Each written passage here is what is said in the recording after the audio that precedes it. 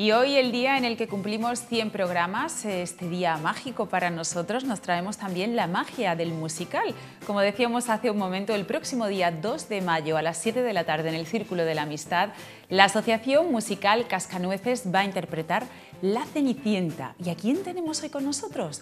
Pues a la protagonista de este gran evento, a la mismísima Cenicienta, Elena Molina. Muy buenas noches. Dime hola, aunque sea, Elena, o Cenicienta, ¿cómo quieres que te llame? Elena. Elena, mejor. Pues dime hola, ¿no, Elena? Hola. Y a su mamá, que es eh, Elena Molero. Muy, muy buenas noches. Buenas noches. Bueno, ambas sois miembros de la Asociación Musical Cascanueces, que es la asociación que, que ha montado La Cenicienta y la encargada de la representación de, de este teatro musical el próximo día 2. Es en beneficio, eh, es un concierto benéfico Sí. eh, en favor de Sembrando Esperanza, que es una asociación contra la ansiedad y la depresión. Hemos situado ya un poco esto y ahora sí que nos gustaría saber muchos más detalles de lo que va a ser la representación de la Cenicienta. ¿Qué vamos a poder ver los que nos acerquemos hasta el círculo el próximo martes? Bueno, pues mira, es un musical hecho por niños, íntegramente por niños, y en el musical cantan, eh, bailan y tocan el piano. Eh, todo muy divertido, es una función siempre con, un- con una moraleja y siempre con un final fe- feliz. Y los niños se divierten mucho y bueno, espero que les guste mucho a todos los que asistan. ¿Es la primera vez que representáis la Cenicienta? Sí, el año pasado representamos los músicos de Bremen y en anteriores ocasiones no hemos participado, no ha participado Elena, pero sí han representado La Bella Durmiente y otros musicales. Normalmente la asociación hace un musical al año, aunque hacemos muchos más conciertos. Eh, a lo largo del año se hacen conciertos, pero el musical eh, es una vez al año. Bueno, ¿y quién dirige y quién lleva un poco la batuta en esta asociación musical? Pues mira, la directora es Sofía Pocribailo, que es nuestra directora musical y es la que se encarga de coordinar todo. Eh, la directora de escena es Cristina Cañal, que es la que hace las coreografías, adapta el guion y bueno, un poco eh, ensaya con nuestros niños y les enseña todos los, todos los bailes y todo esto. Y el ensayo con niños, porque ¿cuántos niños participan en el musical?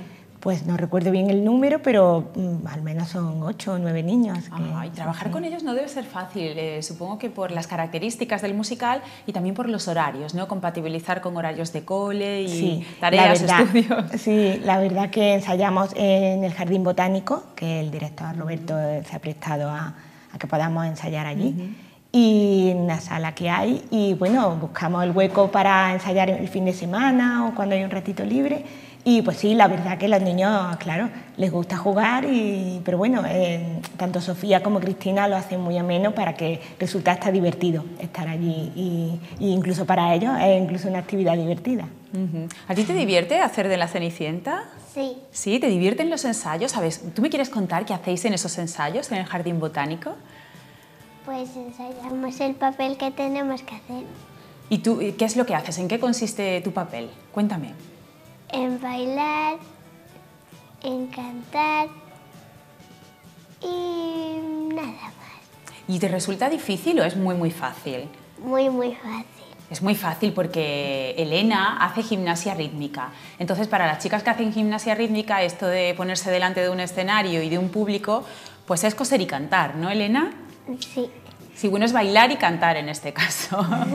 bueno, ¿a ti te gusta? ¿Tú quieres ser artista de mayor? Es muy duro, ¿no? Esto de los ensayos y demás, ¿no? sí, Bueno, pero lo que sí te gustará será vestirte de princesa, ¿verdad? sí, Eso sí, ¿no? ¿Y te gustaría hacer el año que viene otra cosa? sí. Sí, ¿verdad? Ella- los niños están ilusionados, ¿no? Los niños están ilusionados porque la verdad que eh, van, van ensayando y, cada vez pues, consiguen hacerlo mejor, como son bailes siempre en, con pues, varios niños, luego hacen una canción final todos juntos y pues la verdad que lo une y, y hace que, bueno, que los niños pues, sean cada año más amigos. Y, y bueno, eh, resulta una cosa muy bonita, porque es un espectáculo muy bonito que hace que los niños también pues, tengan que superar su miedo a enfrentarse a, a un público, a, pues, a, memorizar un texto, a memorizar una canción al piano, eh, a, una coreografía. Y bueno, yo creo que le ayuda a crecer, le ayuda a todo en ese sentido muy bien. Bueno, nuestra Cenicienta es muy pequeñita, tiene solo siete años. ¿Los demás niños que son de la misma edad o son más mayores? Bueno, eh, hay entre siete y yo creo que las mayores están, la mayor es 11 o 12 años, ¿no? Y luego hay 10, hay no recuerdo si hay alguna entre 12 y 13, pero bueno, en esa franja. Pero sí que hay una, una franja amplia de edad. Sí. sí. es importante porque tan pequeñitos, tan pequeñitos, luego es muy difícil trabajar con ellos y sacar un musical adelante con estas edades debe ser complicadillo. Sí, en eso tienen, tienen, mucho mérito tanto Sofía como Cristina, que son muy pacientes y consiguen sacar de ellos pues pues todo esto. Bueno, hemos hablado un poco de la parte lúdica, vamos a hablar de esa parte benéfica. ¿Por qué a esta asociación en contra de la ansiedad y la depresión? Eh, bueno, esto Sofía, que es la directora, es la que se ha encargado y se ha puesto en contacto con ellos.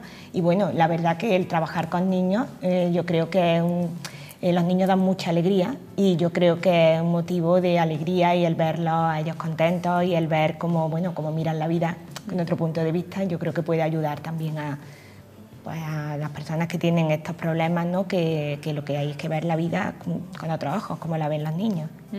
¿Qué esperáis encontraros el martes 2 de mayo? Porque vosotros soléis tener bastante éxito en las representaciones. ¿no? Bueno, nosotros esperamos que acuda mucha gente porque realmente es una cosa muy bonita.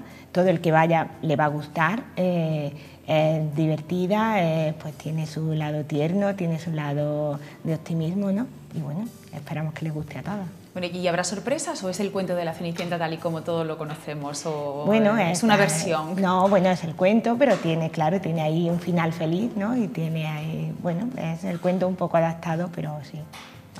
Bueno, pues Cenicienta, Elena Molina, la mayor suerte del mundo para el próximo martes, que tenemos aquí un artista en potencia, pero sobre todo que te lo pases muy, muy bien. Eso se lo dices de mi parte a todos los niños que hacéis el, musical de la Cenicienta, que me ha dicho Mar de la tele que lo que tenemos que hacer es pasárnoslo súper bien. ¿Eso lo vas a decir? Sí. Y te lo vas a pasar bien, ¿verdad? Pues eso es lo más importante. Elena Molina y Elena Molero, muchísimas gracias por habernos acompañado y lo dicho, que vaya todo fenomenal el próximo martes. Recordémoslo, es el martes. El martes día 2 eh, a las 7 de la tarde, a las 19 horas, en el Círculo de la Mitad. Pues todo el mundo convocado. Muchas gracias. Un placer. Tenemos una cita que es importante ver a los niños. Eh, pues, eh, ofrecernos ese esfuerzo enorme que han hecho por realizar y llevar a cabo este musical lo mejor posible y encima estamos ayudando a una asociación cordobesa. Nosotros después de esto nos vamos a conocer la actualidad de nuestra Córdoba y provincia. Esto es lo que ha ocurrido en estos días.